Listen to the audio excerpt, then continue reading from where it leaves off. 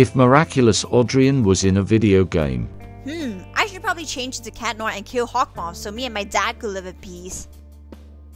Hmm, I forgot to tell Marinette for the 69th time today she's just a friend.